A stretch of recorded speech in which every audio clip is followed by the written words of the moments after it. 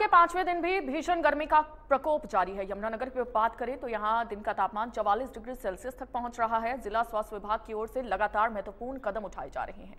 तो यमुनानगर जिला अस्पताल में गर्मी से ग्रसित मरीजों के लिए स्पेशल वार्ड भी बनाए गए हैं और इन्हें तमाम व्यवस्थाओं को लेकर हमारे संवाददाता देवीदास शारदा ने nodal officer doctor Vagish Guten से खास बातचीत की है। देखिए। लगातार मौसम में बदलाव आ रहा है, जो टेम्परेचर का रुझान बढ़ता ही जा रहा कई जगह तक तो 48 डिग्री तक तापमान जो है वो नोट किया गया है। लेकिन यमुनानगर की बात करें तो यहाँ पे एक कुछ तो हरा भरा क्षेत्र है, यमुना नदी यहाँ से बहती है।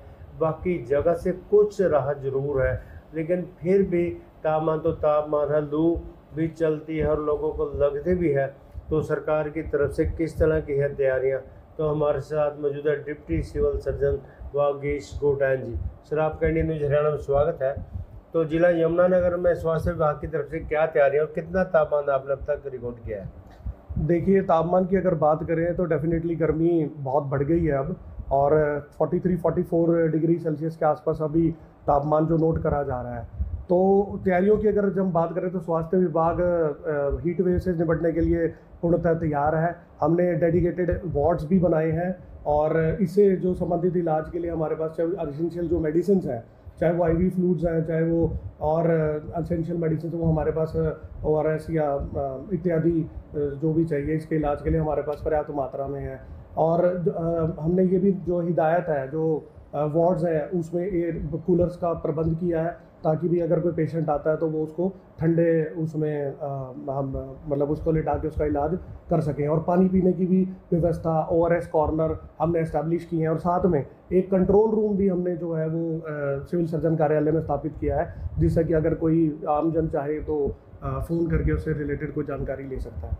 उसके लिए स्पेशल नंबर है सी एम ओ साहब के नंबर है नहीं उसके लिए एक स्पेशल नंबर है। मैं आपको आपके चैनल के माध्यम से मैं बताना चाहूँगा। उसका नंबर है seven four one nine nine zero seven three two zero इसमें सर जो लू लग जाती है तो वो तब क्या लक्षण आते हैं? जैसे कौन सा समय बाहर जाना चाहिए नहीं बढ़ना चाहिए कैसे कपड़े डालने चाहिए तो क्या सुजेस्ट करेंगे?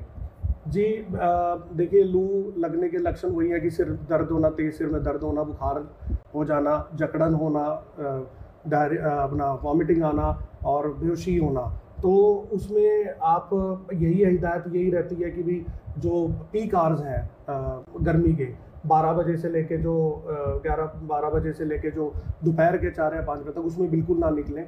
अगर ज़रूरत हो तभी निकलें और खाना खाकर निकलें और पानी वानी रेगुलर जो है आपका पानी पीते रहें और स्पेशली जो इसमें जो रामबाण है वो सिकंजवी है क्योंकि इसमें डिहाइड्रेशन के चांसेस होते हैं तो सॉल्ट और शुगर डिप्लीशन हो जाता है शरीर में तो वो पानी ज़रूर निरंतर आप पीते रहें।